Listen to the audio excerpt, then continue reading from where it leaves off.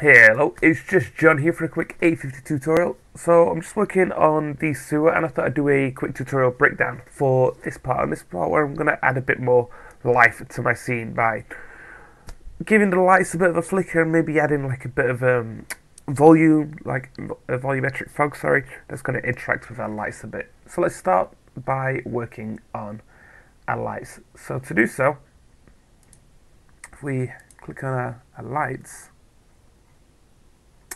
we're going to give them a function. Now at the moment, I, I do have a bunch of functions, but I'm going to create a new one. So I'm going to go do so by, I'm going to, um, what should we call this? Flicker lights underscore mat. And let's hit enter and open that up. Okay, so inside here, we need to turn this to a light function because we're working with a light function on this one. And notice that this locks everything down, so we've just got the emissive. So at this point as well, we're going to want to sort of just like play with our effect. So let's try getting ourselves a time. And we're going to have a time, and I'm going to put a period on the time at 2. Let's just say 2. I'm going to add a clamp to this. And then I'm going to put you into U but my clamp because I don't really ever want to see it go to 0 I'm going to set you at 5 you at 2 and then let's give that a preview see how that looks.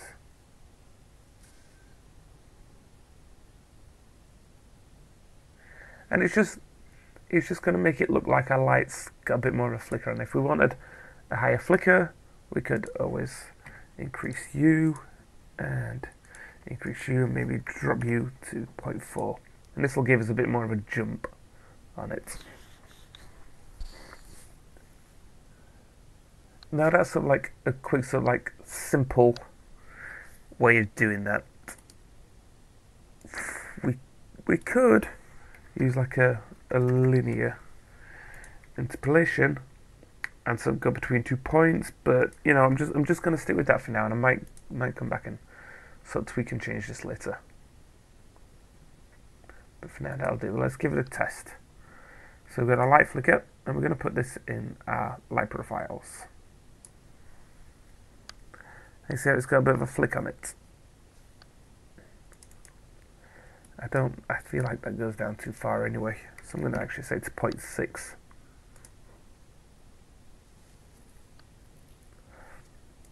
And I'm going to actually set you to 1.5. Oops. 1.5.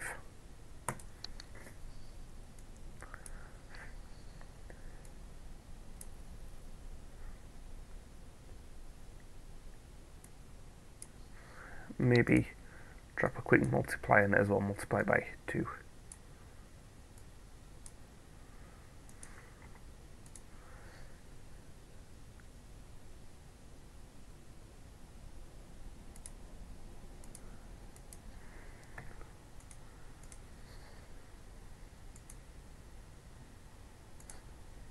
And we'll we'll sort of see we'll see how that goes.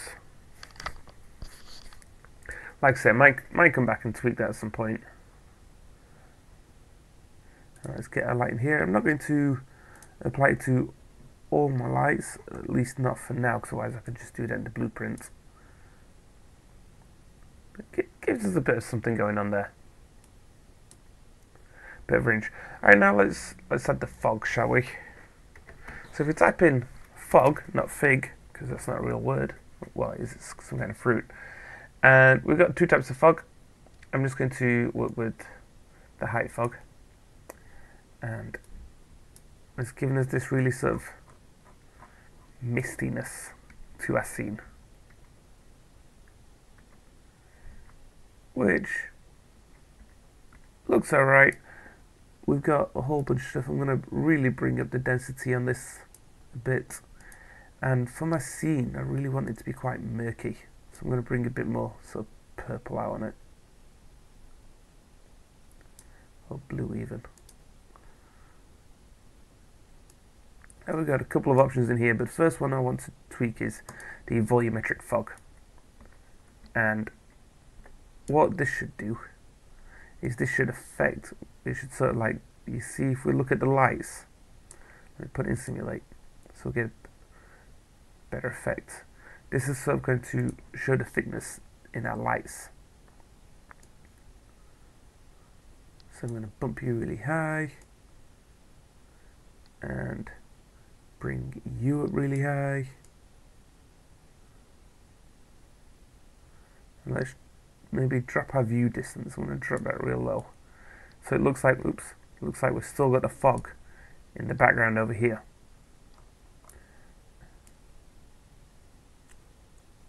I'm really going to bring up that fog. Maybe I'm wrong about the purple. So, like, definitely want it to look a bit misty. Maybe not that green though. It's kind of interesting as like an orange, isn't it? I'm just sort of playing the scene until I find something I'm happy with. You know, that looks, it was alright there. And again, we've sort of got a couple more options. And we're just going to play around with this until until we're happy with it.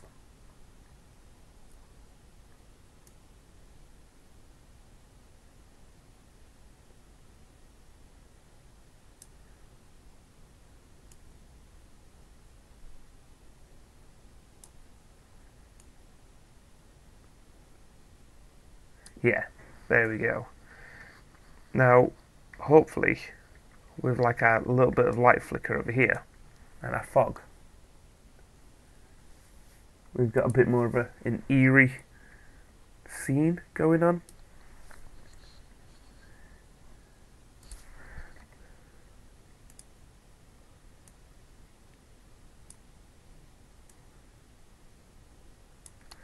And yeah, I feel like that's, that's funky out here, isn't it? That's looking pretty cool over there now.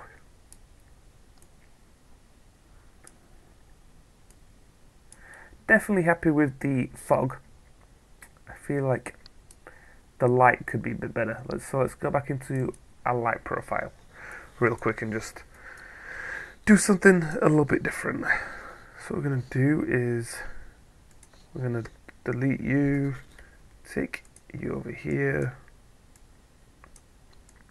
add a clamp and put a multiply over here like so. Mm.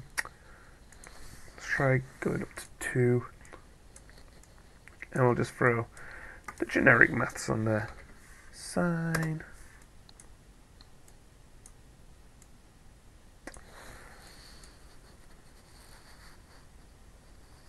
Let's give it a little bit more of a random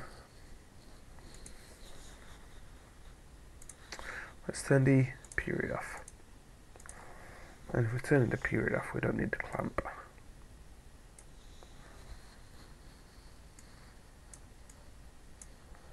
And let's put a quick frac on the end.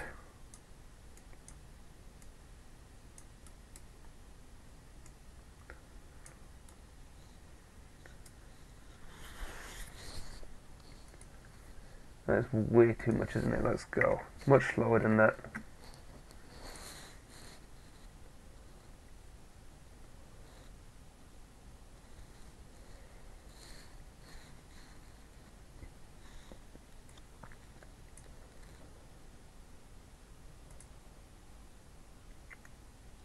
Yeah, that's not too bad. That's not too bad.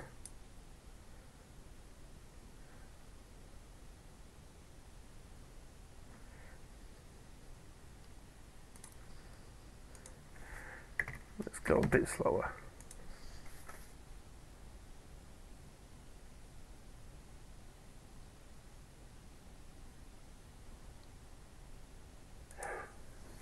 That'll that'll do on that one.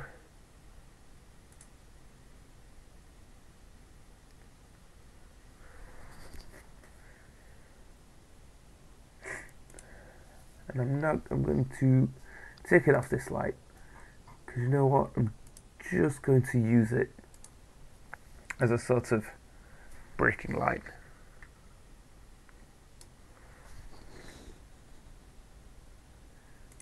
maybe I'll put it on this one. In fact, what I'm going to do, just so it seems like we've got a bit more of a random, I'm just going to duplicate this one and it's changed some of the maths up in here a bit and it should give it a bit more of a seemingly random effect.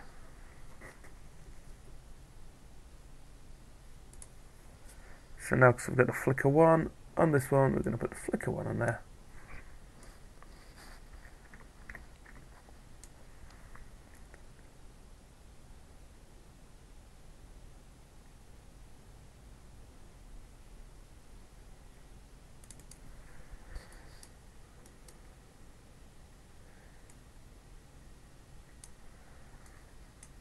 Nah, you know what that'll do. I, sh I should have left. Yeah, I'm gonna delete this, put this one back to how it was before. To clamp.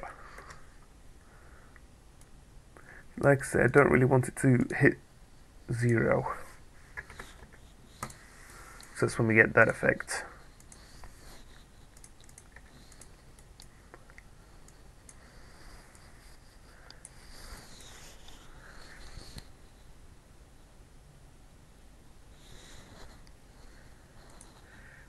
So it gives us a bit more range now.